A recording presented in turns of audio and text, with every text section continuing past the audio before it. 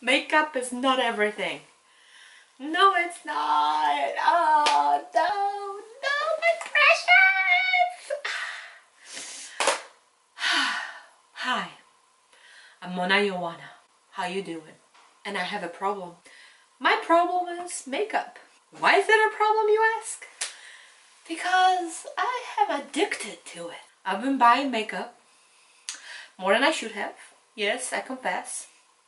Even though I got really good gift cards from my credit cards. Anyway, I could have asked for gift cards to a grocery store or something. But now, now, I will take this challenge of not purchasing makeup until the end of the year. Unless I really have to like if my foundation's finished.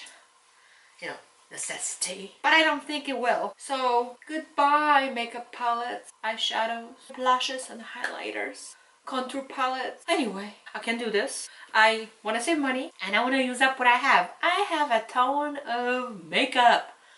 Makeup expires, so I gotta use it. If you support me and you think what I'm doing is awesome, give me a thumb up.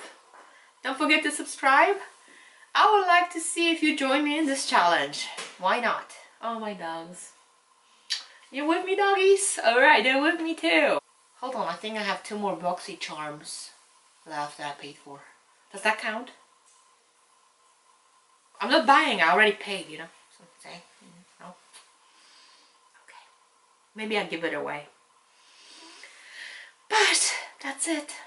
But, goodbye for now. Thank you for watching and I will see you next time. Bye!